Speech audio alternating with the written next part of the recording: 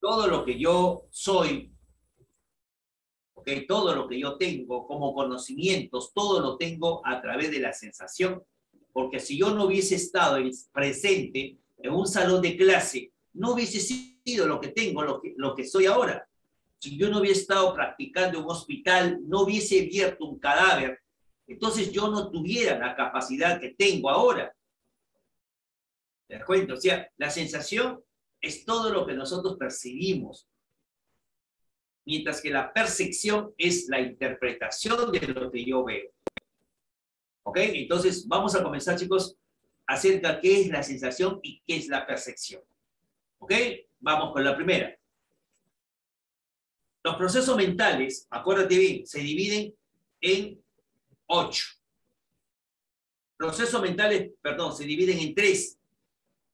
Ya tenemos actividad cognitiva, afectiva y motivacional. Repito, los procesos mentales se dividen en tres. Actividad cognitiva, actividad afectiva y actividad y actividad motivacional. Son tres actividades. De las actividades cognitivas se dividen en ocho tenemos, apunta la inteligencia, el pensamiento, la memoria, la sensación, la percepción, el lenguaje, la atención, la concentración. ¿Te das cuenta? La actividad cognitiva se divide en ocho. ¿Ya? Entonces la actividad, el primer proceso cognitivo que tiene todo ser humano para poder realizar actividades se va a dar a través de qué? De la sensación. Por eso que la sensación tiene que ver mucho con las capacidades que nosotros hemos tenido y tenemos para resolver cualquier tipo de problemas. ¿Ok? Entonces, la, procesos, los procesos cognitivos, ahí está lo primero que ya te dije, que la sensación en la primera actividad, ¿ok? Que gracias a la, a la sensación podemos conocer el mundo. El niño cuando recién nace, ¿cómo conoce el, el universo? ¿Cómo conoce el ambiente? ¿Cómo conoce completamente todo lo que él va a tener que pasar por ese proceso. El niño lo va a conocer a través de la boca. Es lo primero que él descubre el mundo. Porque a través de la primera sensación del niño, ¿cuál es la primera sensación? Es colocarse objetos en la boca. Por eso que todo se echa a la boca, porque así va descubriendo si es amargo, si es ácido, si es dulce, si es salado, si es repugnable, si, es, si tiene algún tipo de, algo de, que le agrada, y todo eso pasa un proceso de, de eh, desarrollo. Perfecto, entonces el medio ambiente nosotros lo podemos recibir a través de la sensación. ¿Ok, chicos? Ahora, ¿cuál es la diferencia entre una sensación y una percepción? La sensación es biológica, la percepción es psicológica. ¿Ya? La, la sensación es una actividad. Bueno, las dos son, las dos son psicológicas, las dos. La sensación y la percepción son psicológicas sino que yo lo divido. La sensación es biológica. ¿Y por qué es biológica? Porque tiene que ver con el cerebro. ¿Dónde está el olfato? En el cerebro. ¿Dónde está la visión? En el cerebro. ¿Dónde está el equilibrio? En el cerebro. ¿Dónde está el movimiento de mi cuerpo? En el cerebro. ¿Dónde está el tacto? En el cerebro. ¿Dónde está el frío? En el cerebro. ¿Dónde está el calor? En el cerebro. ¿Dónde está el dolor? En el cerebro. Porque todo es sensación y todo es biológico. ¿Entiendes? Mientras que la percepción no. La percepción es lo que tú ves, lo vas a interpretar. Lo que tú hueles, lo vas a interpretar. Lo que tú escuchas, tú lo interpretas. Por esa razón, cuando yo te doy un plato que te gusta, tú lo ves, tú lo hueles, tú lo saboreas y esa es tu percepción, si lo comes o no lo comes, si te agrada o te está desagrado. ¿Perfecto? Entonces, la percepción viene a ser la interpretación de lo que yo veo. Ya, muchachos, entonces, ahí ya tienes, ahí te he puesto la diferencia de las dos, la diferencia de la sensación con la percepción. Vamos a ver ahora qué es, cuál es la base anatómica de la sensación. ¿Ok? La base anatómica de la sensación es, consiste en lo siguiente. En primer lugar, tiene que ver estímulos. No hay estímulos, no hay sensación el calor ya, acá, aquí en Santa Anita ya salió el sol, ¿Qué quiere decir? Yo ya me saqué la chompa, ya me saqué la casaca, porque tengo sensación de calor. ¿Y cuál es el estímulo que me ha movido que yo me quite la casaca? Es el calor, el sol es un estímulo. Más tarde, a partir de las 4 o 5 de la tarde, se oculta el sol y saco la chompita. ¿Por qué? Porque el estímulo ya no está el sol, ahora está el viento y eso produce frío. ¿Ok? Para que te des cuenta. O sea, si no hay estímulos, yo no tengo hambre. Si no hay estímulo, no tengo por qué beber agua. Si, yo no, si no hay estímulo, no hay nada que te pueda ocasionar algún cambio en tu organismo, si no es el estímulo. ¿Perfecto? Entonces, a través del estímulo, nosotros podemos conseguir cualquier tipo de estímulo que se encuentre en el medio ambiente, porque tenemos receptores sensoriales. Nosotros nacemos con receptores sensoriales. ¿Ok? ¿A qué edad el niño comienza a mover? Al que el niño escucha los, la voz del padre, la voz de la madre dentro del vientre de la mamá, a partir del quinto mes a partir del cuarto mes hay mamá, pregúntale a tu mamá, mamá, ¿a qué, a, qué, ¿a qué edad yo comencé a moverme dentro de tu barriga? Ella te va a decir cuatro meses, cuatro meses y medio, cinco meses, porque ya tuviste sensaciones ahí. Tú pudiste recibir el sonido que está externo. ¿Ok? Gracias a los estímulos. La voz del papá, los gritos de tu mamá, los sonidos de la música, todo eso nos mueve para tener los famosos reflejos. ¿Ok, muchachos? Entonces la sensación sin, sin estímulos no puede ser presentada como una forma de cómo nosotros conocemos esa realidad. ¿Estás entendiendo lo que estoy hablando? ¿Estás entendiendo? ¿Está claro esa parte? ¿Está claro? Bien, entonces, repito, entonces ¿Cómo se produce biológicamente? Biológicamente, ¿cómo se produce la sensación, profesor? Primero tiene que ver estímulo. Luego hay transducción. ¿Qué significa transducción? Cuando yo ya comenzó a salir frío, salió calor, salió sol, entonces esa sensación de sofocamiento que está en mi departamento es acá, ya yo tengo todo cerrado para que no se escuche la bulla de, las, de, las, de los carros que están afuera. Entonces se produce una, se produce, profesor, una sofocación. Esa sofocación, ¿cómo entra mi cerebro para sacarme yo la chompa? Entra como una energía, pero quien lleva la orden para que me produzca calor tiene que ser por las vías de, de conducción, que son las vías eferentes, son las que llevan la información al cerebro para que me produzca calor. Y eso se convierte en energía. Por eso cuando se regresa yo comienzo a tener sudor, porque ya se convirtió en una energía. ¿Entendiste? Por esa razón, todas las sensaciones tienen que ir al cerebro a través de un conducto, que son las vías aferentes, eferentes. Si no, no hay traducción. Pues. Tú para cuando hoy día vas a comer lentejas, ¿cómo sabes que es lenteja? Con los ojos cerrados yo lo identifico porque ni, bien yo lo estoy probando, profesor, cómo el cerebro te manda la orden que es una lenteja, porque viene en forma de energía del cerebro para que tú puedas decir rico, sabroso, delicioso, feo, horrible, etc. Perfecto. Entonces, esa es la traducción. Y vamos con la otra. Viene con la corteza cerebral. La corteza cerebral es la donde comienza a recibir la información ¿Ok? ¿Dónde está el gusto? Parietal. Perfecto. Y ahí donde comienza a, comenzar a, a, activarse lo que es el sabor. Y es por esa razón que tenemos gustos. Y, y la traducción completamente se debe a las vías de conducción. Aferentes, eferentes. Bien, chicos. Vamos a ver. Otra parte, la sensación. ¿Ok? La sensación es las, lo que se encarga de captar todo, todas las energías que se encuentran en el medio ambiente son las células especializadas llamadas receptores. Bien, los receptores sensoriales son los que producen las sensaciones, porque ellos son los que captan la energía que se encuentra en el medio ambiente, en el medio físico. Esos estímulos cuando ingresan, ingresan a través de qué? A través de los receptores sensoriales. Nosotros tenemos receptores sensoriales en la nariz, en el tacto. Tenemos receptores sensoriales en todo tu cuerpo porque te produzca dolor. Tú te pinchas el dedo, te produce dolor. Tú te, tú te jalas el cabello, te produce dolor. Tú te pinchas el dedo gordo del pie, te produce dolor. Por, toda tus, por todo tu cuerpo tienes receptores de dolor. Entonces, todo nuestro cuerpo está lleno de receptores sensoriales. Y esos receptores sensoriales son los que van a transformar todos los estímulos físicos, los llevan a nuestro organismo.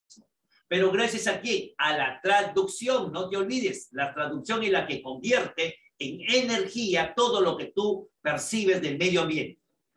Entonces, toda esa energía ya lo tengo, sonido, luz, olor, etcétera. Ahora, ¿qué intervienen? Los receptores sensoriales. Y los receptores sensoriales son los que captan todos los estímulos que a través de esos receptores, ¿cómo se llama el receptor? Muchos. Receptor de la vista, conos, receptor del olfato, bulbo olfatorio, receptor de la lengua, las papilas gustativas, el receptor del frío, Krause, el receptor del calor, Ruffini, el receptor del tacto, Meissner y muchos receptores tiene todo tu cuerpo. Y esos receptores, cuando captan, van a activar a las neuronas del cerebro. Y las neuronas del cerebro están preparadas para recibir el estímulo y produce el cambio de energía y lo manda, nuevamente lo regresa a los músculos, lo regresa a las, a las, a las fibras nerviosas, lo regresa a nuestro organismo, convirtiéndolo ya en sensación. Ok, chicos. ¿Qué es un estímulo? Un estímulo es toda energía, energía, apunta. El calor es una energía, el frío es una energía, el mueble es una energía, el cuadro es una energía, la lámpara es una energía, la mesa es una energía. Todo lo que tú ves va a producir cambio. El agua es una energía. ¿Por qué crees que hay pacientes que tienen hidrofobia? y le tienen miedo al agua. Pero le tienen miedo al agua a la cantidad de agua. Yo tengo pacientes que tienen potofobia. ¿Qué es la potofobia? Miedo a tomar agua. ¿Te das cuenta? El agua es una energía porque está produciendo un cambio en, en esa persona.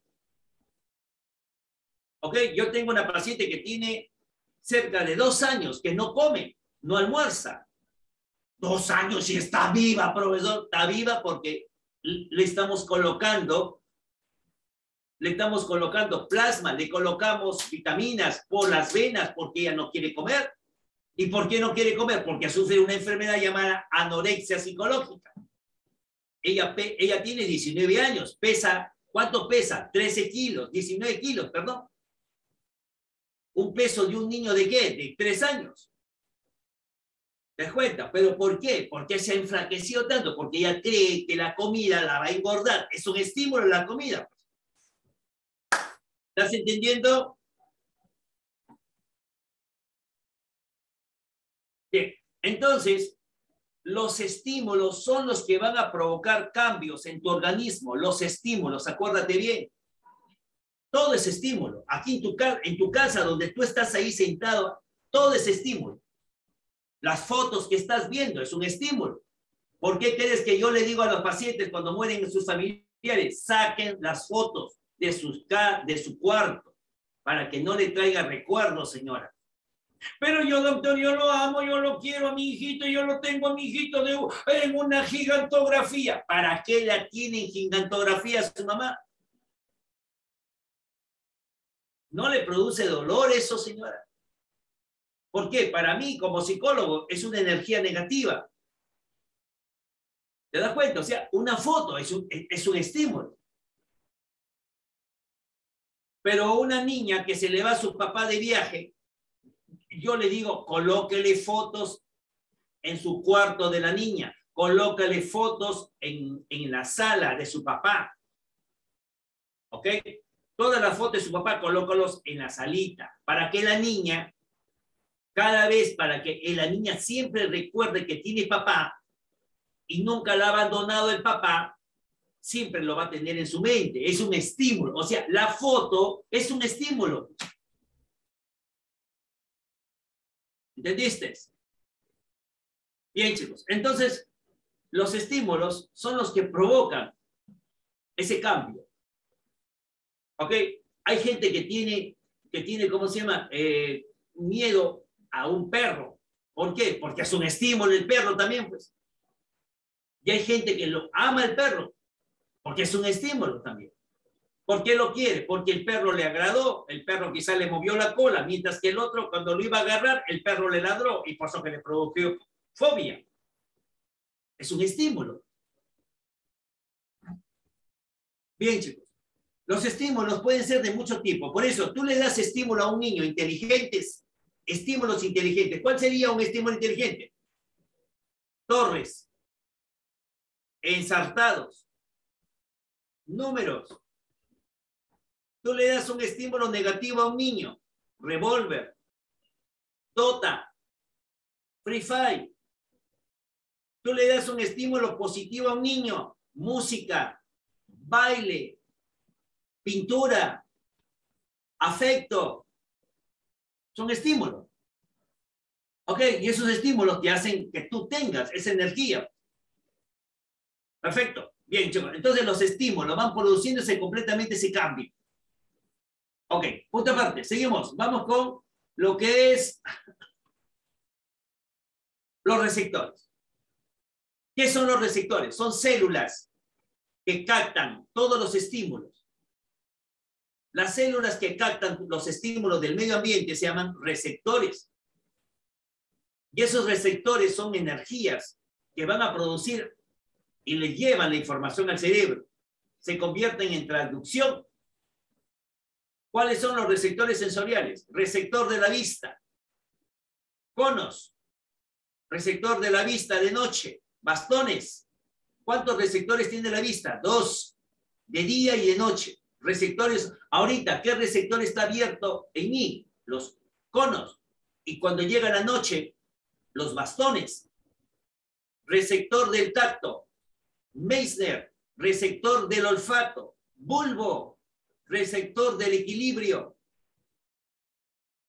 saco vestibular, receptor del oído, órgano de Corti, receptor del gusto, papilas gustativas, receptor del calor, Ruffini, receptor del frío, Krause, receptor del dolor, terminaciones nerviosas, ¿Ok? Receptor del, dolor es terminaciones nerviosas. Receptor del equilibrio, saco vestibular. Perfecto. Bien, chicos. Los receptores sensoriales. A ver, los tipos de receptores tenemos fotoreceptores, mecanoreceptores, quimioreceptores, termoreceptores, nocireceptores. ¿Apuntaste? Ah, repito, fotoreceptores, mecanoreceptores, quimioreceptores, termoreceptores, nocireceptores. Electros, electroreceptores. Vamos con la primera. fotoreceptor, la luz. No te olvides, el estímulo es la luz. ¿Y quién recibe la luz? El ojo. Mecanoreceptores, todo lo que produce presión. Mecano, mecano significa presión presión, de la, ¿cuál viene a ser? La piel. Pacini y Ruffini, perdón, Pacini y Meissner, apunta. Los mecanorreceptores son dos. Pacini, Meissner. Vamos con los quimioreceptor. Los quimioreceptor son sustancias químicas que están en el medio ambiente. ¿Cuáles son los quimioreceptores que captan? Es la lengua y la nariz.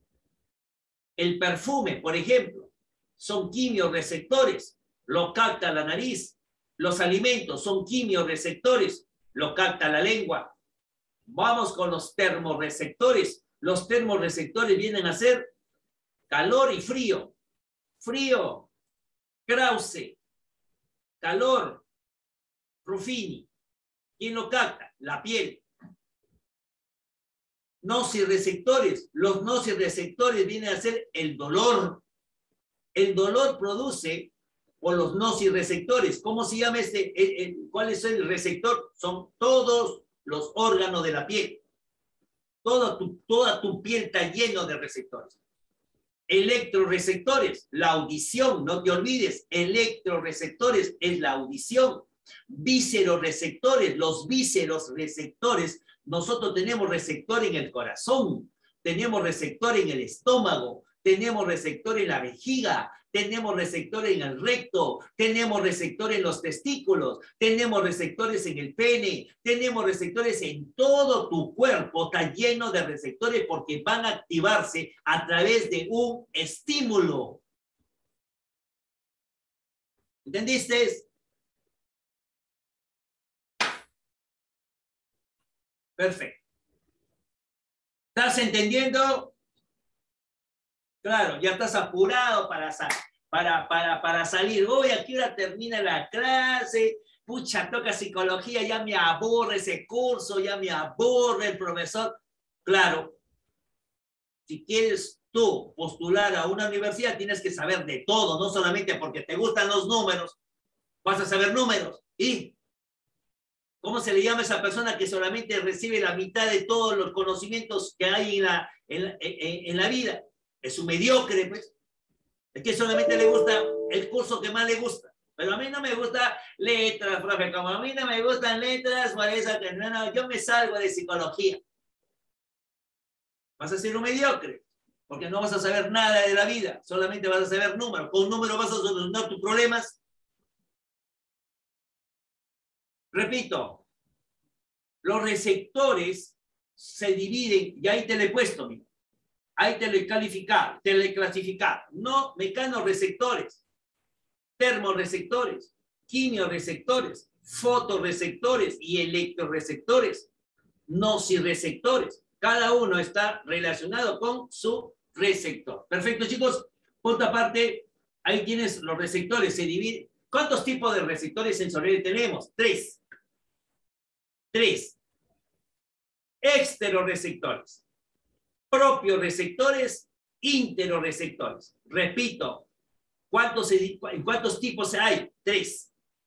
Extero, receptores. Propio, receptores. Intero, receptores. Vamos con los exteroreceptores, los exteros, todo lo que está en todo lo que está afuera, todo lo que se, todos los receptores, todos los receptores que actúan con todos los estímulos que están afuera, todos los estímulos que están afuera ahí van a actuar. ¿Cuáles son los que están afuera, profe? Uno, vista. Uno, la vista. Dos, oído. Tres, olfato. Cuatro, gusto. Cinco, tacto. Seis, temperaturas también. Ok, vamos con los propios receptores. ¿Cuáles son los propios receptores? Los propios receptores son Apunta. Senestesia y la kinestesia. Senestesia es equilibrio. La kinestesia es movimiento de tu cuerpo. ¿Ya escribiste? A ver, repito otra vez. Exteroreceptores, todos los receptores, todos los estímulos que están fuera en el medio ambiente. La vista, conos, oído, órgano de corte, olfato, bulbo olfatorio, gusto, papilas gustativas, tacto, Meissner. ¿Ok? Vamos con los propios receptores. Los propios receptores se dividen en dos. Apunta, sinestésico, con I, sinestésico, con C de casa. ¿Qué es la sinestesia? Equilibrio, la kinestesia con K, con K, kinestesia, movimiento del cuerpo. Esos son los propios receptores. Y vamos con la última, interoreceptores. ¿Cuáles son? Todos los órganos internos tienen receptores. Por eso que te están provocando hambre, pues. ¿Por qué quieres que ya tienes ganas de comer? Ya quieres salirte de clase para irte a comer. Porque ya te está dando hambre, porque el estómago tiene un receptor. ¿Por qué crees que yo tomo agua? Yo tomo agua porque hay un receptor en mi cuerpo que me hace que yo provoque, que me provoque la sed.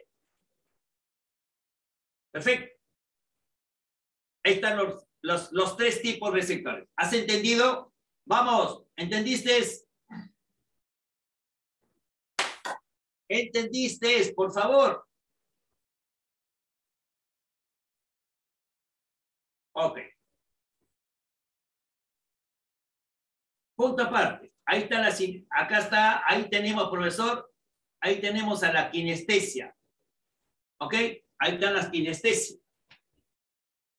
Cuando yo te hable de kinestesia, apúntalo en tu, en tu cuaderno. Kinestesia significa movimiento del cuerpo.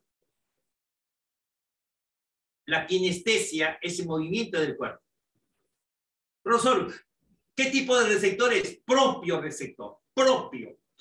Así se llama, propio receptor se llama. Porque te pertenece a ti. ¿Cómo se dividen los propios receptores? Kinestesia.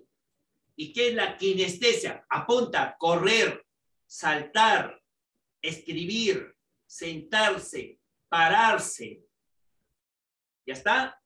Acostarse, todo lo que hace tu cuerpo. Esa es la kinestesia.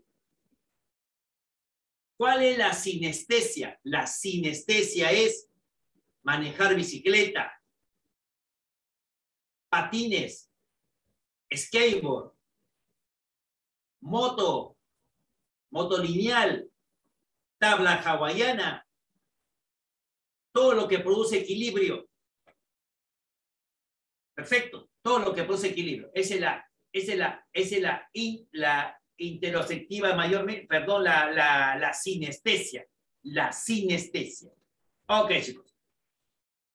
Los nociceptores, ya sabemos. ¿Cuáles son los nociceptores? Son los que producen dolor.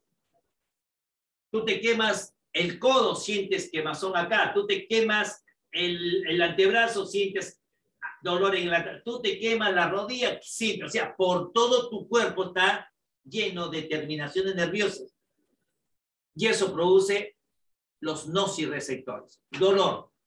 Número tres, traducción. Acuérdate bien, la primera fue estímulo. Número dos, receptor. Número tres, traducción. Ya estamos en la tres. La traducción es cuando se convierte en energía. Ya chicos, ojo, todo, todo, toda la sensación cuando ingresa a nuestro cuerpo, o sea, cuando el receptor lo capta, lo convierte en energía para llevarlo al cerebro y luego lo regresa. Por ejemplo, lo mito saltado, lo vuelo.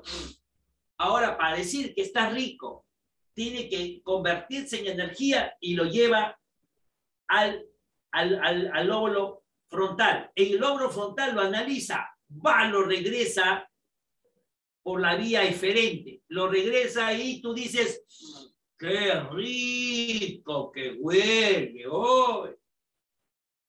¿Ok? Entonces, todo es un proceso. Lo lleva la energía a través de... Esa es la traducción. La traducción, chicos, la traducción es cuando recién el, el organismo lo, lo analiza, lo capta. Por esa razón, los que se golpean el cerebro, los que toman licor o los que fuman drogas, muchas veces ya no, ya no tienen sabor, no tienen no tienen olor. ¿Ya? Eso pasa. Tengo algunos pacientes que han perdido el olfato, pierden el gusto por el exceso de drogas que han consumido y eso produce a largo tiempo este tipo de problemas. ¿Ok, chicos? Bien, entonces ahí tú te das cuenta que es en la traducción. Punto aparte. La traducción, ahí está la traducción. La traducción es cuando te produce el efecto ya.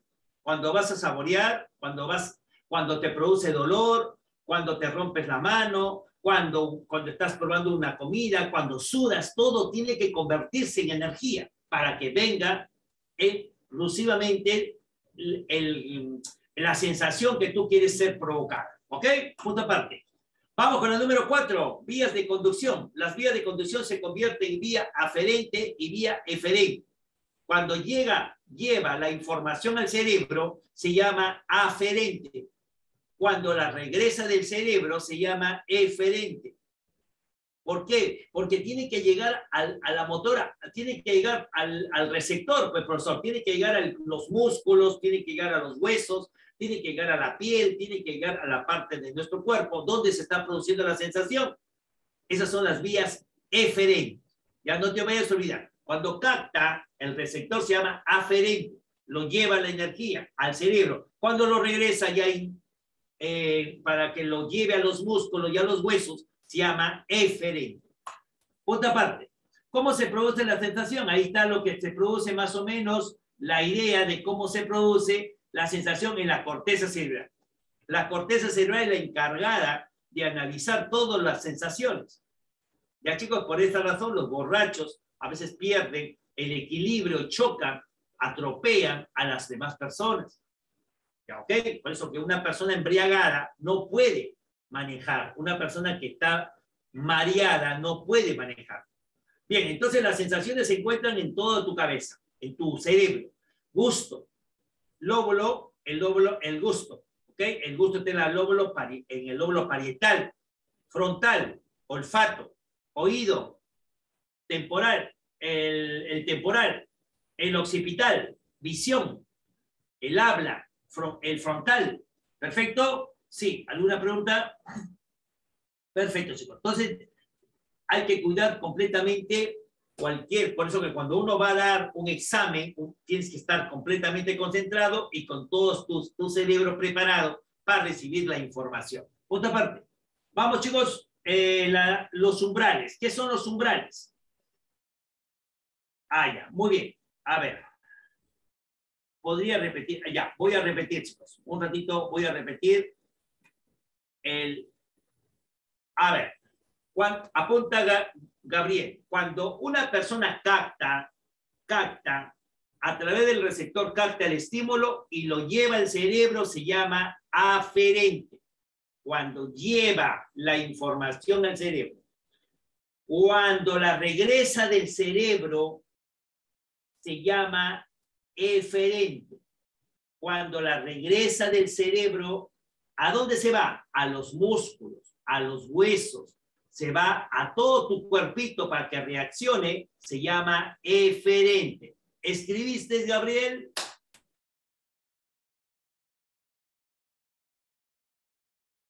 Ok, bien. Ahora ya está. Tranquilos. Perfecto. Muy bien, Gabriel. Gracias. Seguimos. Eh, los umbrales. Los umbrales, muchachos. Los umbrales vienen a ser límites de las sensaciones. ¿Ya? los umbrales son los límites de la sensación. ¿Cuántos umbrales? ¿Qué es, una, ¿Qué es un umbral, profesor? Son los límites. Todo lo, a ver, todo lo que tú tienes como conducta, como comportamiento humano, se deben a los umbrales. Por ejemplo, ¿por qué eres matemático? Porque tú lo practicas constantemente. Y ese es un umbral máximo. Porque tú te amaneces haciendo números tú estudias día y noche haciendo números.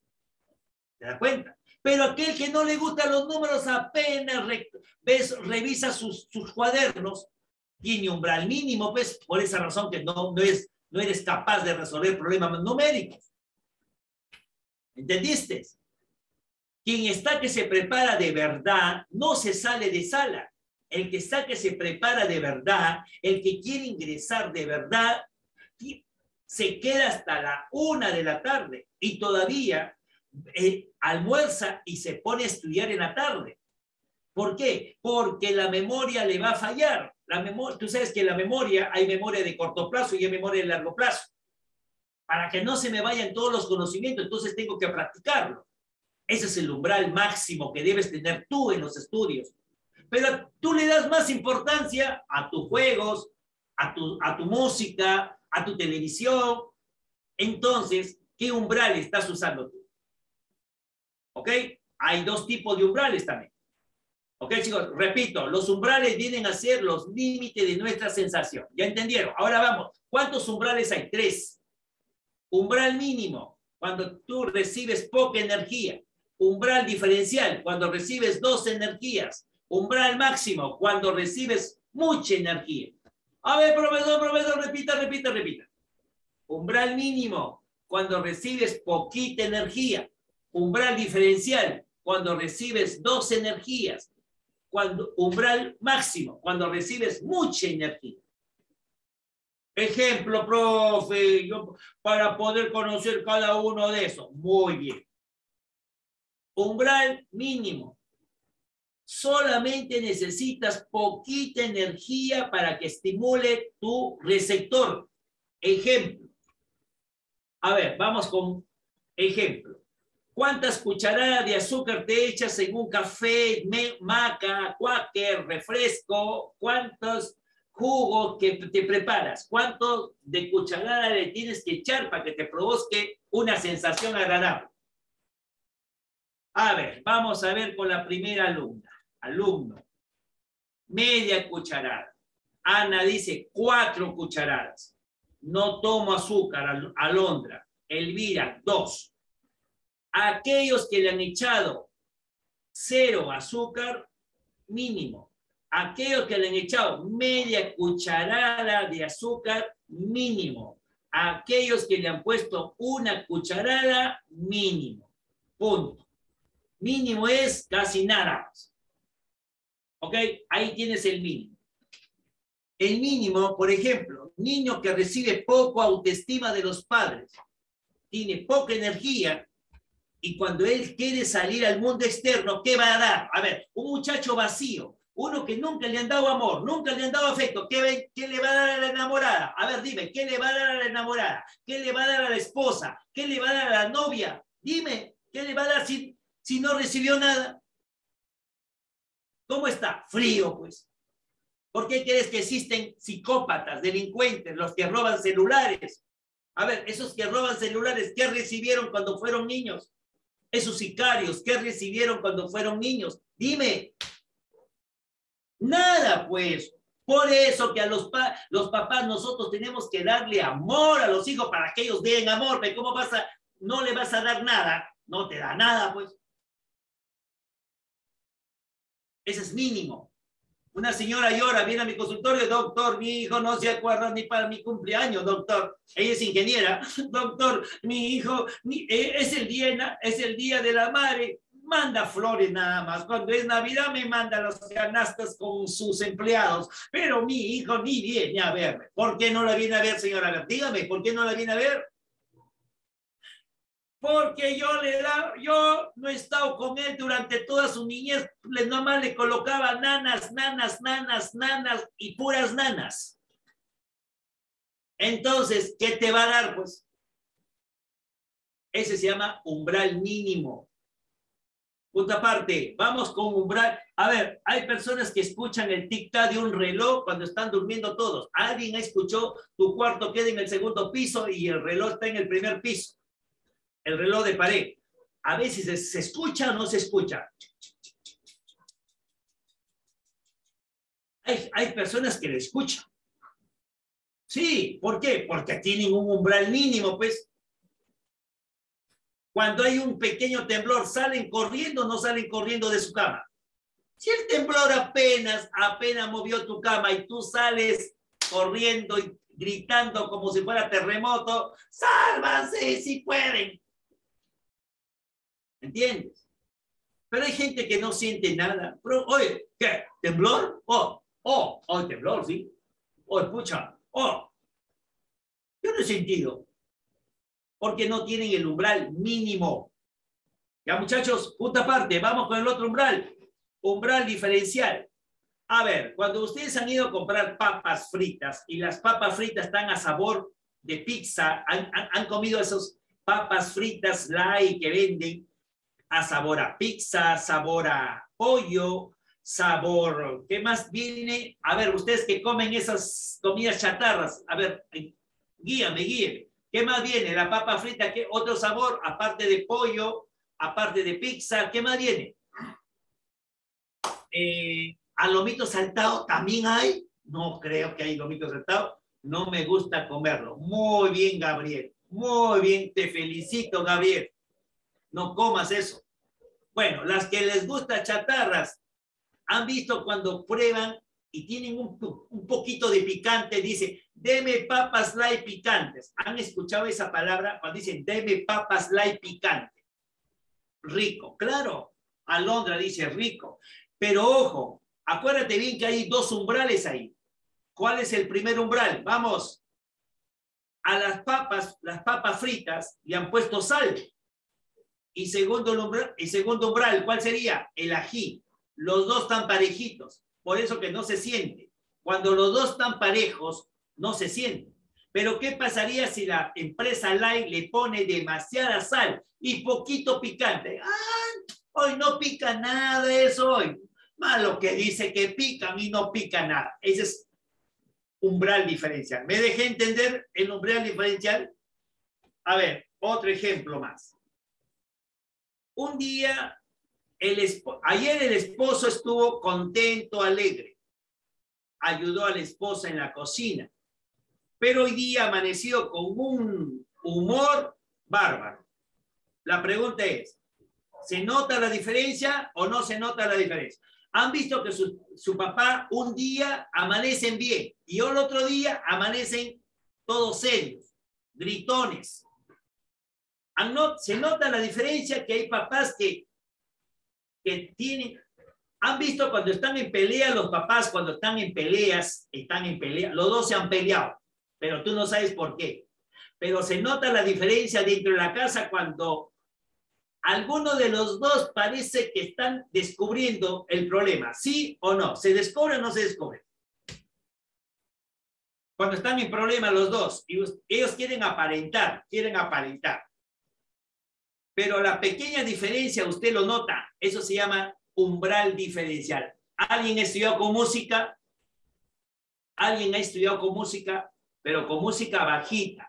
Ustedes estudian, ponen música. Ese se llama umbral diferencial. Actúan dos umbrales. ¿Me entendieron qué es umbral diferencial? Umbral máximo. ¿Qué es el umbral máximo, chicos? Cuando ya tendrías que tener bastante energía para que se produzca el umbral.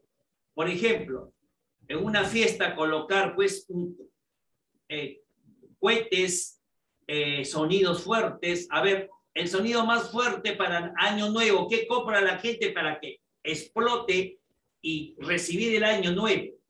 La gente ¿qué compra? Mamá rata, abuela rata, ¿qué más hay? La mamá rata. ¿qué más hay? Abuela rata, yo también, sí, sí, aquí en Lima venden la abuela rata y el Gucci.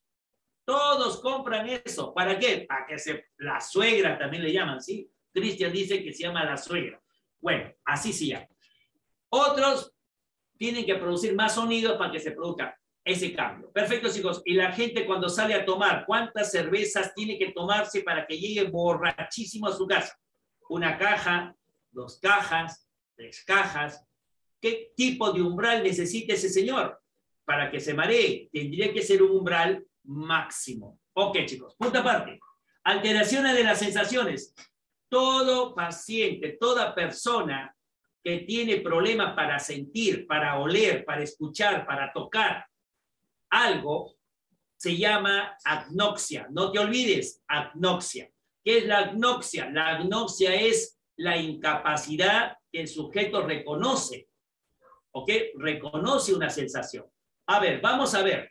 La persona que no, no ve, ¿cómo se le llama? Ciego. La persona que no escucha, ¿cómo se le dice? sordo. ¿Me dejo entender, chicos? Existen agnoxias. Hay agnoxia táctil. ¿Cómo se llama la táctil? Apunta. Agnoxia áctica, con H, áctica. ¿Cómo se llama la agnoxia de oler? Cuando no huele, nada. Agnoxia ósmica. Agnoxia ósmica. Ósmica. ¿Perfecto? Punto aparte. Vamos con la percepción, chicos. La percepción es psicológica. La percepción es psicológica. Ya te dije. A ver, la sensación, ¿qué cosa es? La sensación es biológica. ¿Y la percepción qué cosa es? Cuando tú ves, tú lo tienes que interpretar. Pues. Mira, yo, ¿por qué crees que yo veo a mi perra aquí en mi casa? ¿Por qué crees que yo le permito que suba mi mueble? ¿Por qué le permito a la perra que esté aquí en mi sala y no la voto a la calle. ¿Por qué? Porque yo tengo una percepción hacia el perro. Yo veo al perro, pero también tengo una interpretación.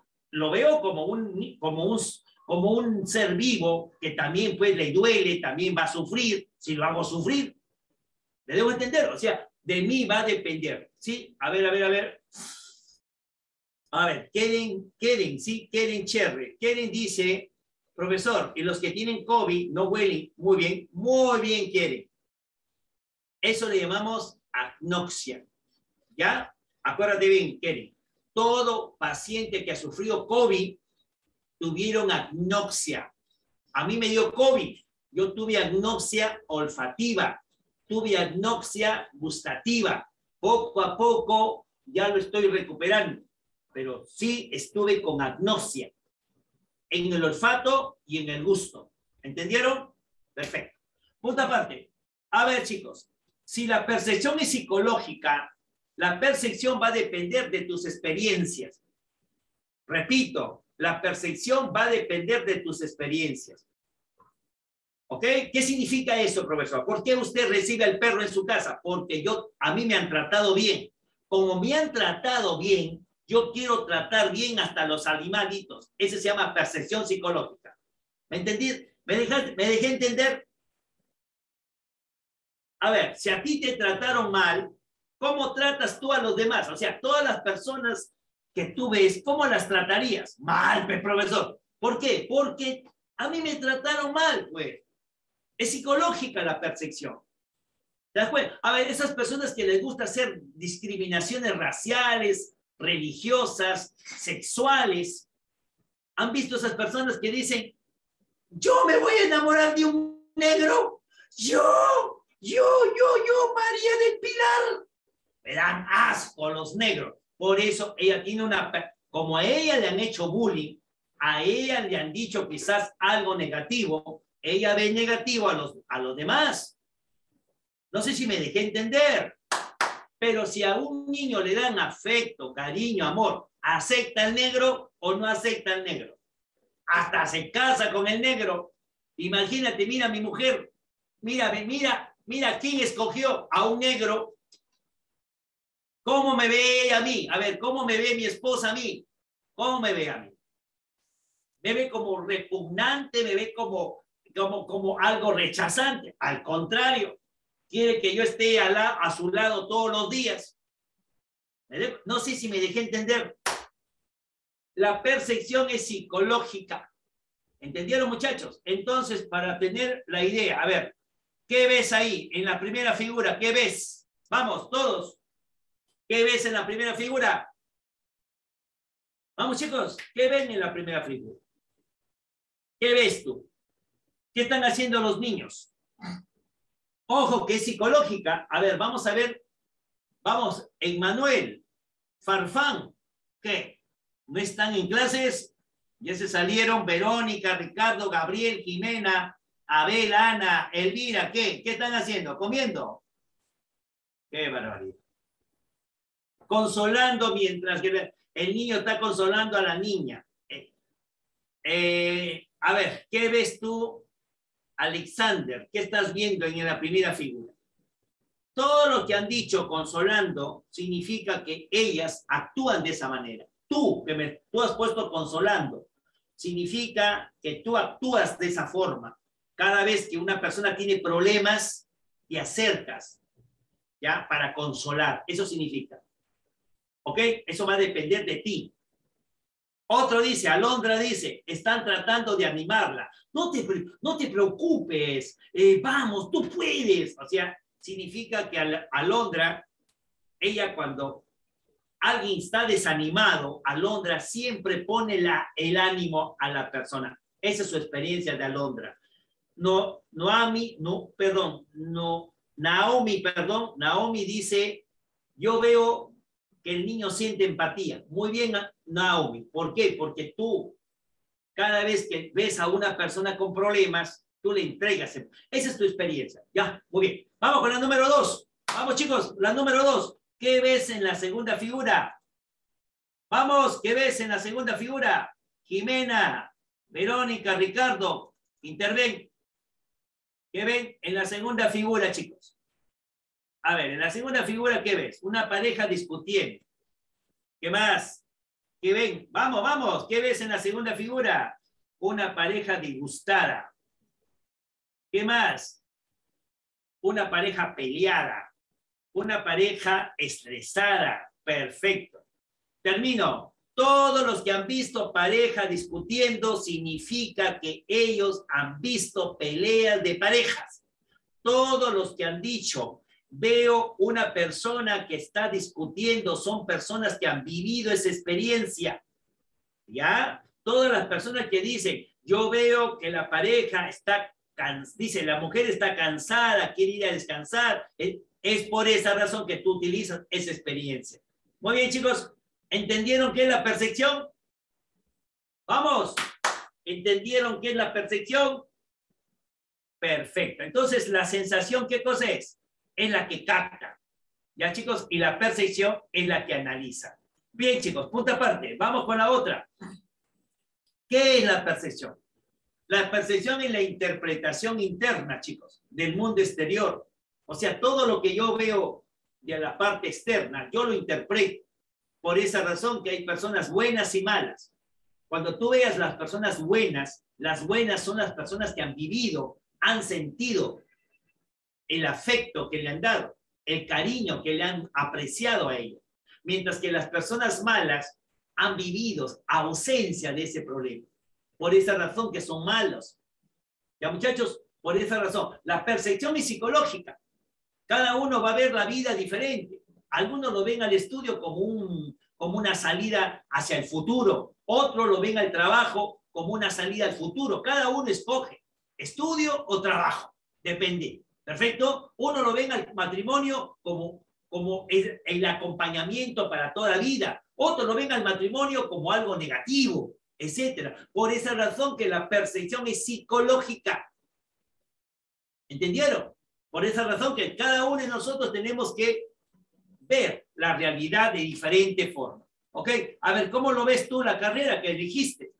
Yo la carrera que elegí, profesor, yo como psicólogo, ¿cómo la, cómo la veo? Yo la veo muy interesante, muy buena, porque ayudo a las personas a cambiar las conductas. Yo cambio la conducta de un alcohólico, de un drogadicto, cambio la conducta de una persona que tiene problemas. O sea, todo eso yo lo veo. Entonces, a mí me parece que lo que yo escogí está bien. Esta es mi percepción que yo lo tengo. ¿Ok, chicos? Entonces, la elección de tu carrera va a ser perceptiva.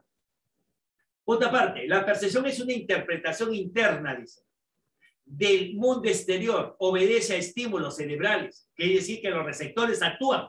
Por esa razón que nosotros le vamos a dar una realidad psicológica a lo que vemos. Punta parte. Ahí tenemos, a ver, leyes totalidades de la percepción. ¿Cuáles son las leyes de la totalidad de la percepción? Primero, uno, holístico. ¿Por qué es holístico? Porque lo veo con todas sus características. ¿Por qué es, eh, por qué es sintético? Sintético, profesor, porque yo le doy completamente un resumen de todo lo que estoy observando. Analítico, porque yo veo ojos, boca, brazos, eh, cuerpo, veo color de su blusa, veo la sonrisa, etcétera, porque es analítico. ¿Ok? Por eso que lo que yo, yo veo es una pregnancia. ¿Qué es una pregnancia? Darle alguna forma al dibujo. ¿Ok? Yo, le veo, yo lo veo así completamente relacionado a algún tipo de, de, característica que yo tengo. Elementos psicológicos de la percepción. Punta parte. Uno, para que haya percepción. Uno, percepto. ¿Cuál es el percepto, chicos? El percepto es el estímulo. ¿Ya? Apunta, el percepto es el estímulo. Número dos, imagen. Para que yo pueda visualizarlo, sé qué, qué tipo de imagen estoy mirando. Por ejemplo, el estímulo, manzana, imagen, color, sabor, ¿qué es lo que tiene esa manzana? ¿Y quién lo va a percibir? El sujeto. Repito otra vez, son tres. Uno, para que haya una percepción, tiene que ver percepto. Número dos, imagen. Número tres, sujeto. ¿Cuál es el percepto, profe? El estímulo. ¿Cuál es la imagen? La representación que tienes en la cabeza. ¿Cuál es el sujeto? Uno mismo. ¿Ya? Por esa razón que cada uno va a percibir. A ver, vamos con el objeto. El objeto es lo que se recibe a través de la sensación. Los, los receptores sensoriales los reciben. Todos los objetos que vienen a ser los estímulos. ¿Perfecto? Vamos con representativo. Es la imagen que yo voy a tener completamente algo que yo me imagino, profesor. Por ejemplo, a un niño tú le dices dibuja una casa, pero él no ve ninguna casa, está en el salón de clases, pero él ya representa cómo es una casa. a ver, dibuja tu familia, pero, pero su papá y su mamá están trabajando, pero el niño en el salón de clase representa a su familia en un dibujo. Eso significa representación. Ideativo.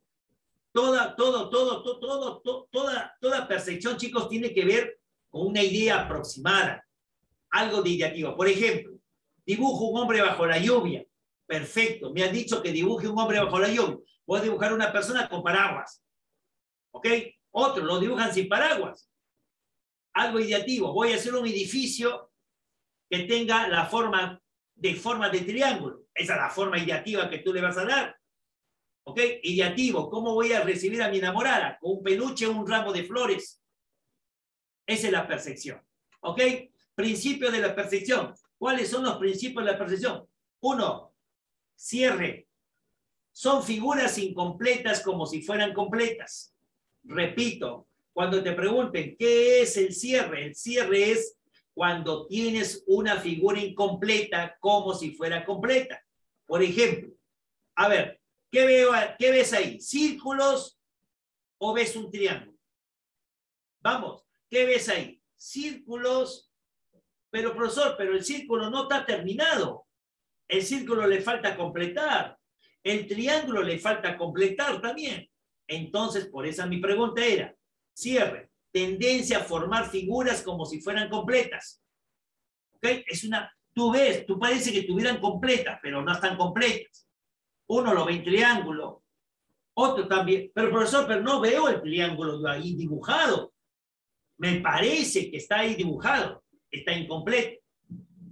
Los círculos están incompletos, el triángulo está incompleto, pero tu mente te manda la orden que tú lo ves completo.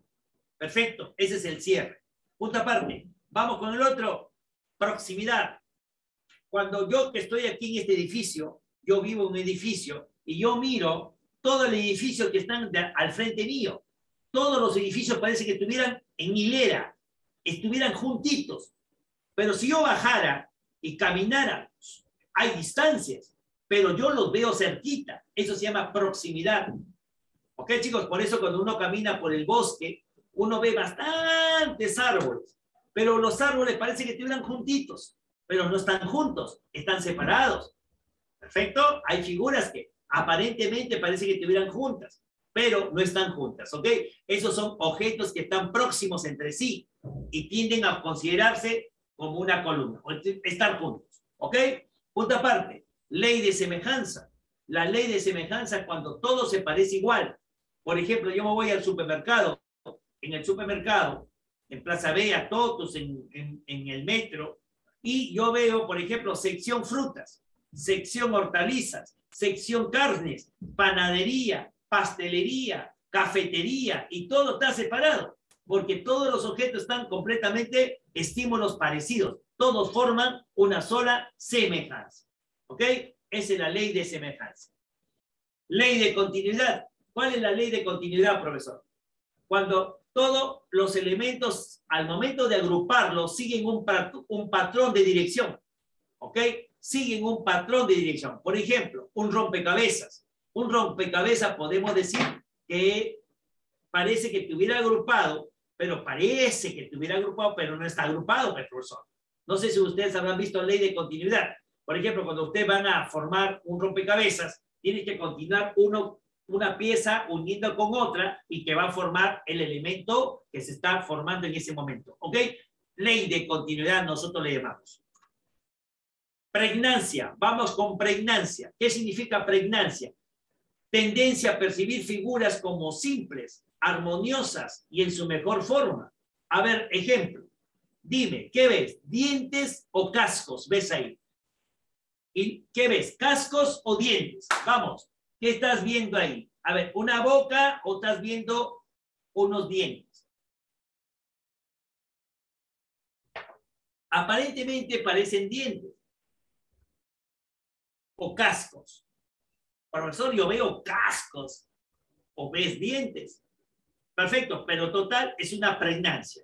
Es, la pregnancia, chicos, es cuando ustedes ven una, un, un, un, objeto medio distorsionado. No sé si ustedes cuando caminan por, por, por la calle, a veces hay edificios que tienen forma. No sé si alguien ha ido a, a, Javier Prado, al Ministerio de Educación, han visto el edificio del Ministerio de Educación que tiene un libro, es en forma de libro. Parece que tuviera una, no sé si habrán visto el edificio, el edificio del Ministerio de Educación que está en San Borja, los que pasan por ahí por el tren, van a ver un libro y abajo hay bastantes libros y todos esos libros son, son oficinas. ¿Han visto o no lo han visto? Cuando uno pasa por ahí por San Borja. Es una pregnancia eso. Aparentemente parece que, parece que fuera una forma, profesor. Pero uno se equivoca.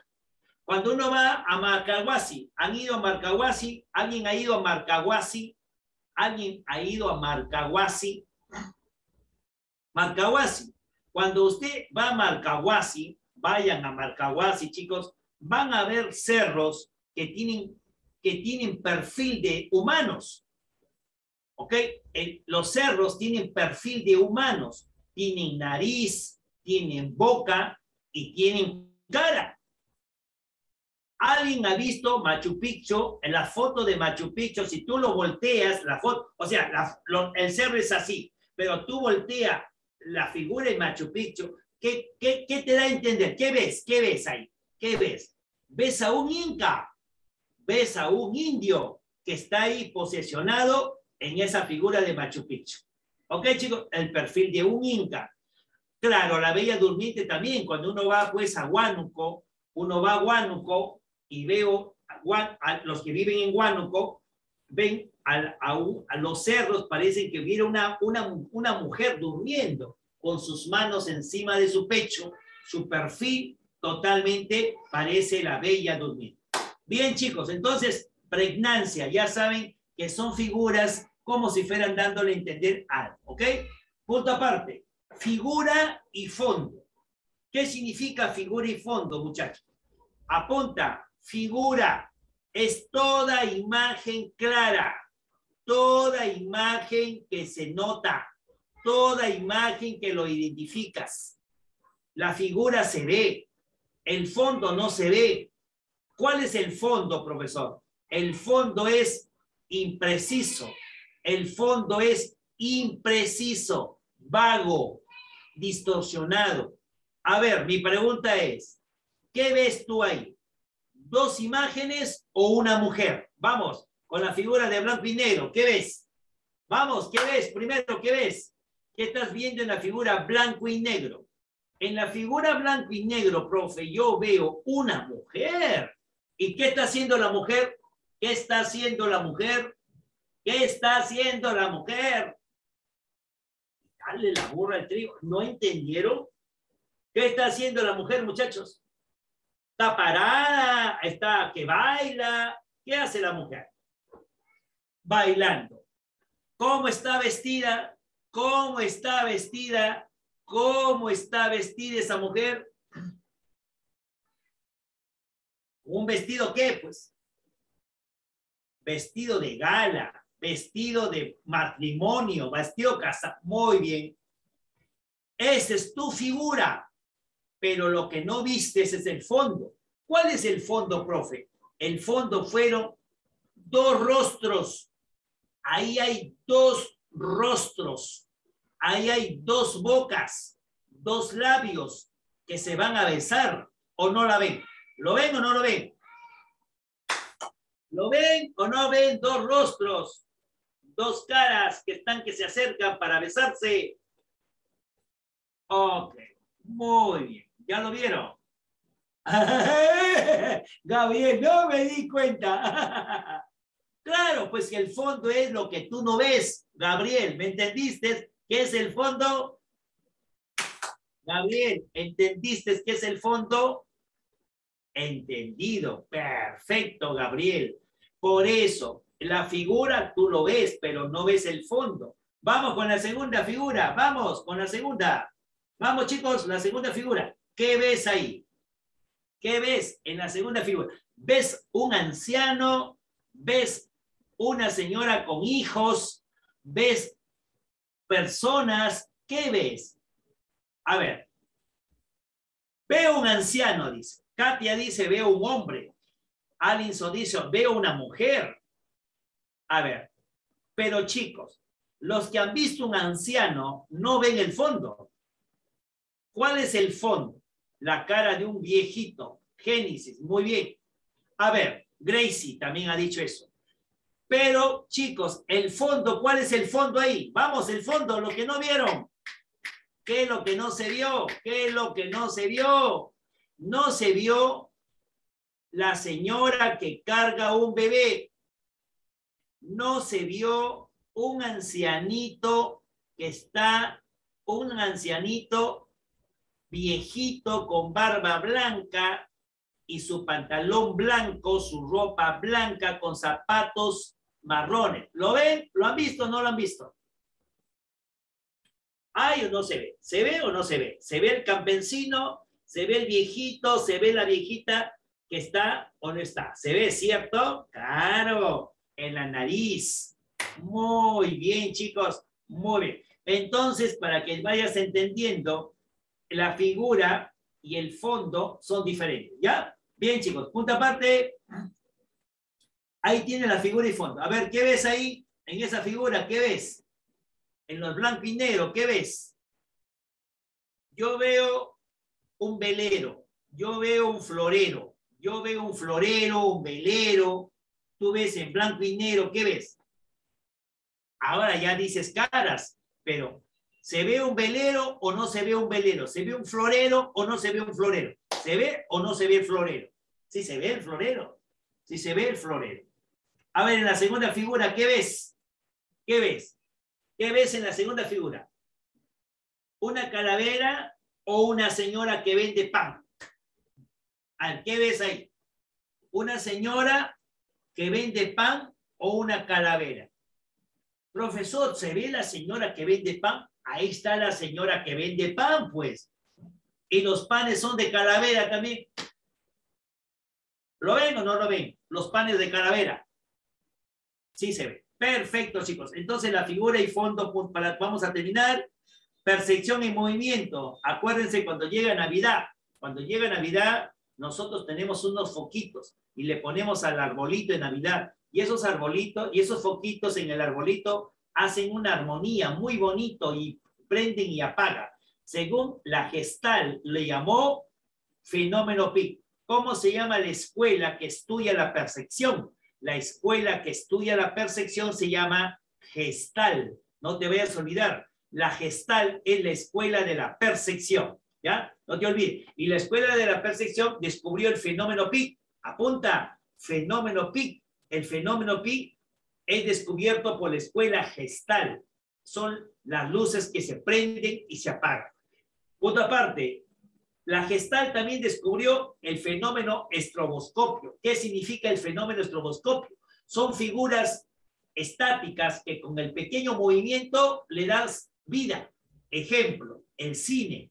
Las figuras que tú vas cuando vas al cine son figuras, fotos estáticas, que conforme pasa por una máquina y la máquina le, da movimiento a la figura y le da hasta sonido. Y esto se llama estroboscopio. ¿Ok? Autocinética es una ilusión de movimiento. Crees que la figura se mueve, pero no se mueve, son estáticas. Pero si tú las quedas mirando, se mueven y están parpadeando. Es una ilusión autocinética. ¿La están viendo que se mueve o no se mueven las ruedas? ¿Se mueven o no se mueven las ruedas? ¿No la, ¿Lo ven o no lo ven, chicos? Si se ve que se, mueve o no se mueve. ¿Ok? Se ve, se ve que se mueve, pero profesor, nadie las mueve. Claro, yo, yo no las muevo. Mira mis manos, mira mis manos, están acá, ve. Yo no las muevo, sino que se mueve. Perfecto. Punto aparte. Esa se llama ilusión autocinética. Alteraciones de la percepción, chicos. Las alteraciones de la percepción son, apunta, ilusión, la ilusión y la alucinación. Apunta, ¿qué cosa es la ilusión? La ilusión es apunta, la ilusión es cuando se presenta el estímulo y el sujeto es una, es, es una distorsión de la figura. ¿Ya? Apunta, la ilusión es una distorsión de algo. Se distorsiona. A ver, ¿qué ves tú ahí? Tú ves ahí, a ver, a ver, un ratito. Tú ves ahí, ¿ese señor está de frente o está de perfil? A ver, ¿qué ves? Ahí vamos a hacer un poco de ilusión. ¿Está de frente o está de perfil el señor? La figura se ve. Ahí no la estás, ahí tú no la estás adivinando. La figura se ve. Está de frente. Otro lo ven de perfil. Perfecto, está de frente. Pero parece que estuviera de perfil. Esas figuras que tú estás viendo te dan también una ilusión. La ilusión que estamos viendo de las figuras anteriores que hemos visto. Que parece que se movieron pero el objeto está ahí, pero tú lo distorsionas. Apunta, la ilusión es una distorsión nomás. Se distorsiona la figura. Por ejemplo, yo veo a mi esposa saliendo con otro amigo, colega del hospital, yo la veo abrazada que sale con el amigo. Si yo fuera celoso, ¿cómo lo viera yo? Si yo veo al amigo que abraza a mi esposa, ¿cómo lo vería yo? Yo tengo esa ilusión la ilusión sería por celos, ¿ok? Y yo veo una distorsión ahí. Bien, chicos, apunta. ¿Cuántos tipos de ilusiones hay? Dos. Ilusión objetiva y la ilusión, apunta, subjetiva. Repito, ¿cuántos tipos de ilusiones hay? Dos. La ilusión objetiva y la ilusión subjetiva. ¿Cuándo es objetiva? Objetiva es cuando yo veo el objeto pero lo distorsiono. Yo veo, pero lo distorsiono. Mientras que la ilusión subjetiva, apunta, la subjetiva es cuando se produce por ansiedades. Son personas que utilizan por ansiedades. ¿Quiénes son los que tienen ilusiones? Los que son miedosos. ¿Han visto cuando se quedan solos en su casa y el gato está que camina arriba del techo, tu techo de caramina, y piensas que es un ratero. ¿Han sentido o no han sentido eso? Si pasa eh, el, el, el, sonido de un, el sonido de un, de un bebé, perdón, el sonido de un, ¿han visto los gatos cuando lloran? Parecen el sonido de un bebito recién nacido. ¿Alguien ha visto, alguien ha escuchado es cuando llora un gato, cuando el gato está que llora porque el gato Tú sabes que cuando hace relaciones sexuales el gato queda con dolor y el, el gato queda con dolor porque el pene del gato tiene espinas. Entonces, al ingresar a su vagina de la gata, le produce dolor cuando lo saca. Entonces, la gatita se queda llorando. Y la gatita cuando llora en el techo, llora, parece un bebito. ¿Sí o no? ¿Han escuchado o no han escuchado? ¿Ok? Perfecto. Entonces, eh, ahí estás haciendo una ilusión. Estás distorsionando, distorsionando. ¿Han entendido que es una ilusión, chicos? La ilusión se produce por miedo, por celos, por tristeza, por estrés, por temor, por cólera, por ansiedad. Ya no se olviden, las ilusiones, tú puedes hacer ilusiones, tú puedes estar solo en casa escuchas pasos. Esa es una ilusión. ¿Quién ha sido? El perro. ¡Ay, maldito perro que me asusta! Es el perro. Es una ilusión. ¿Ok? E, el objeto debe existir. Mientras que la alucinación no, chicos. La alucinación no. No hay perro, pero yo escucho pasos. Ya pues, profesor, ya sería que mi casa está pepena ya. Esa es una alucinación. Apunta, la alucinación es una falsa percepción. La alucinación es una falsa percepción. Ya, chicos, se divide en dos también. Alucinación objetiva y, y alucinación subjetiva. ¿Cuándo es la alucinación objetiva? Cuando no existe el objeto. A ver, cuando yo estoy manejando mi carro para irme a Trujillo y yo veo la carretera llena de agua, pero no hay agua, ¿qué sería? Ilusión, alucinación. ¿Te das cuenta? si yo no veo nada completamente, eh, es algo perceptual. Perfecto, chicos. Entonces, a ver, ¿quiénes son los que tienen alucinaciones? Apunta. Los que tienen alucinaciones son los enfermos mentales. Escuchan voces, creen que alguien los va a matar. ¿Ok? ¿Quiénes son los que, que ¿quiénes son los que tienen alucinación subjetiva? Los locos, los drogadictos, los alcohólicos, los que tienen fiebre alta. Alguien ha tenido un familiar que ha tenido un hermanito que ha sufrido una fiebre alta y comienzan a tener derivación y comienzan a, tener alucinación. ¿Alguien ha sentido eso? Un familiar que ha tenido fiebre altas y comienzan también a salir fuera de la realidad. Eso es una alucinación. ¿Entendieron, chicos? ¿Han entendido las dos? Las dos han entendido que una es una distorsión de lo que ves y la otra es no existe nada, es una falsa percepción. ¿Entendieron las dos? ¿Entendieron las dos? Sí, chicos, ya, ya vamos a terminar, ya vamos a terminar. Bien, punta aparte, vamos con la otra, la última. Atención, ¿qué es la atención? Es la capacidad para concentrarse, centrarse, algo que persiste, algo que te llama la atención, algo que tú ves en acción, es lo que tú puedes percibir. Es la capacidad de concentrarse, de centrarse en algo que te gusta. ¿Cuántos tipos de atención hay? Espontánea. Es aquella que se genera en forma, hay un choque aquí, aquí en mi calle, hay un choque y yo reacciono rápidamente. Es algo espontáneo. ¿Ok? La atención voluntaria, algo que tiene que yo sentir, yo tengo que sentir. Si me gusta la clase de psicología, presto atención. Si no, estuviera jugando midota ahorita. Número tres, la atención pasiva, la o involuntaria. Cuando la, pasiva o involuntaria, cuando el estímulo se impone en la conciencia. Por ejemplo, cuando tú escuchas el sonido de la radio, está que toca, pero tú no quieres escucharlo, ¿ok? Pero está que suena algo que está, tú pasas, tú subes al micro, escuchas Corazón Serrano, escuchas a Chacalón, escuchas en el carro, escuchas a, a Pascualío, escuchas a, Bendy, a pero a ti no te gusta esa música, pero tú lo escuchas, ahí estás ahí sentado en el carro, es una atención involuntaria. Número, vamos con la última.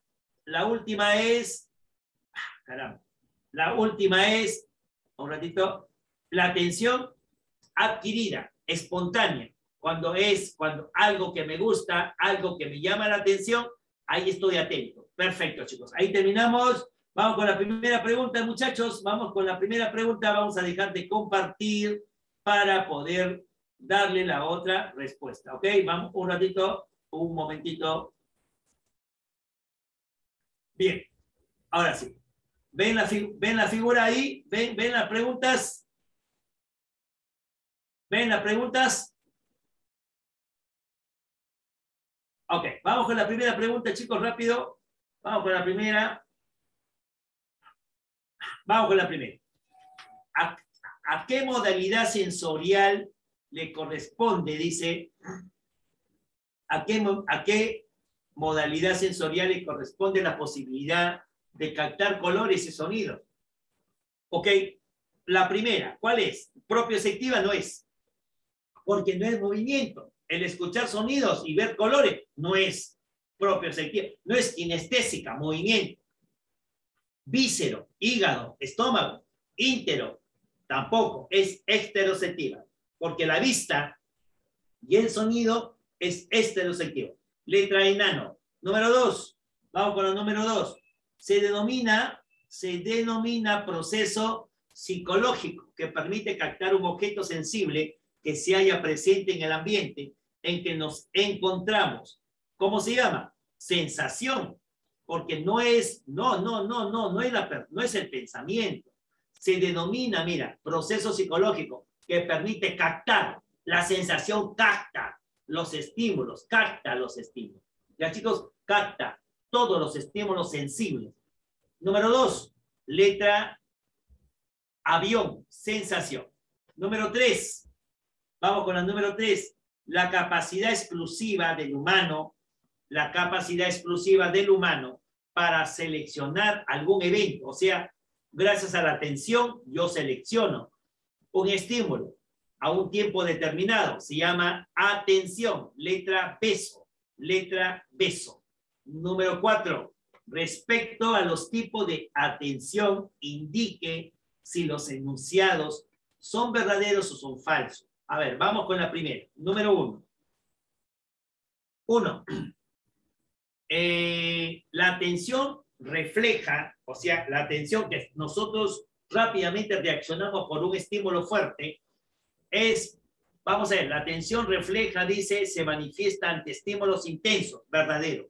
Claro, que tiene que ser algo fuerte para yo reaccionar, verdadero. Vamos con la número dos. La atención voluntaria, o sea, la que yo quiero escuchar, depende mucho de eventos inesperados. Claro, porque tiene que ser un evento inesperado, o sea, o sea, algo que yo quiero aprender, algo que me gusta, algo que yo tengo que saber. Es algo, una atención, algo inesperado. Estoy esperando, estoy con esa fuerza. Letra B. Es eh, verdadero. número dos. Eh, tres, perdón. La atención espontánea, espontánea quiere decir la que rápidamente yo, a la, la espontánea que no tiene nada que ver, se puede manifestar ante la espontánea, no, porque espontánea tiene que ser algo que yo me agrada, algo falso. Letra C de casa, la letra C de casa. Número 5. Vamos con el número 5, chicos. En un museo observo un cuadro y perdemos de vista todo lo que nos rodea. Claro, es la atención. Número 5, la atención. La 5 es la atención. Número 6. Vamos con el número 6.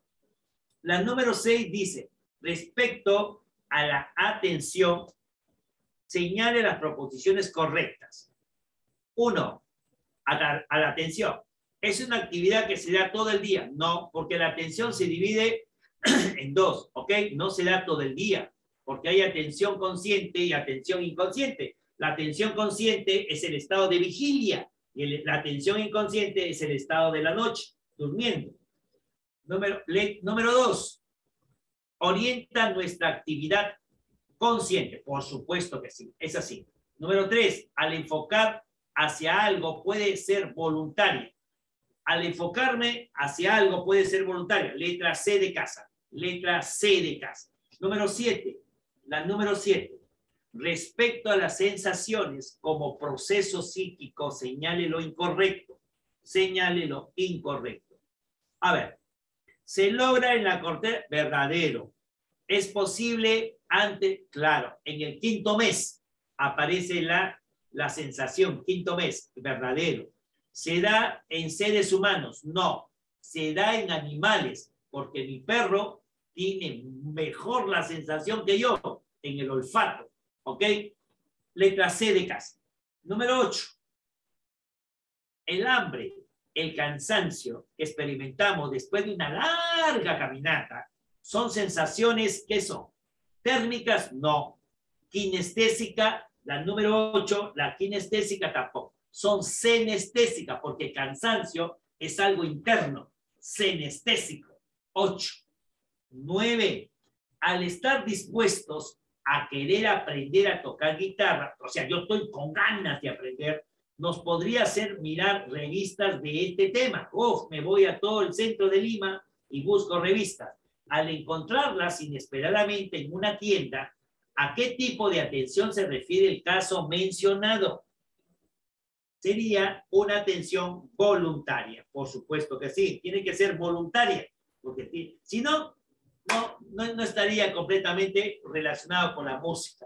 Número 9, letra C de casa. Número 10.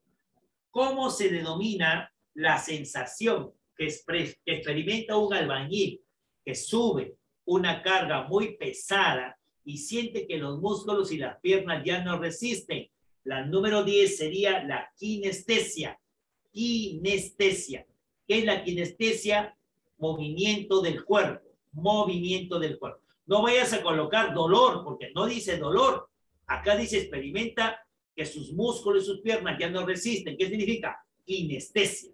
Kinestesia. Fuerza muscular, pues, claro. Kinestesia. Número 11.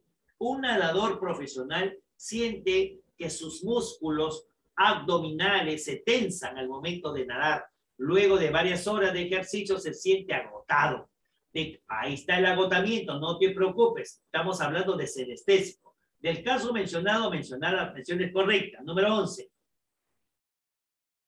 Las sensaciones que menciona ambos casos son, no, no son, no son dolorosas. Uno, falso. Los músculos abdominales le proporcionan sensaciones sinestésicas. Sinestésica es equilibrio. Falso. Fuera. El agotamiento experimentando es una sensación sinestésica.